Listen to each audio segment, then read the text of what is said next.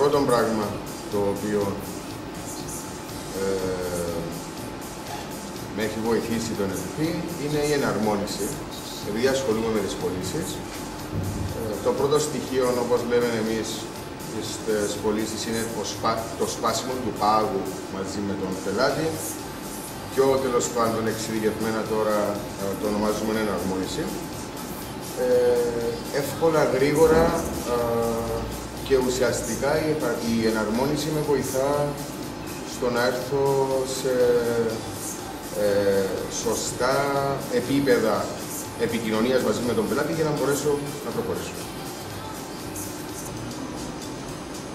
Στον επαγγελματικό τομέα έχουμε αναπτύξει περισσότερες ε, ιδέες.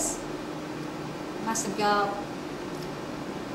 είμαι πιο αποφασιστική ε, και υλοποιώ κάποια πράγματα που δεν τολμούσα να υλοποιήσω πιο παλιά. Καλύτερη επικοινωνία με τους, τους ανθρώπους. Ε, έχω έρθει σε εναρμόνιση με τους συνεργάτες μου, ε, το οποίο με βοηθά να επιτυχώ τους στόχους μου και πάλι. Βασικά αρχίσα να ασχολούμαι με ένα τομέα που είναι άγνωστος για μένα.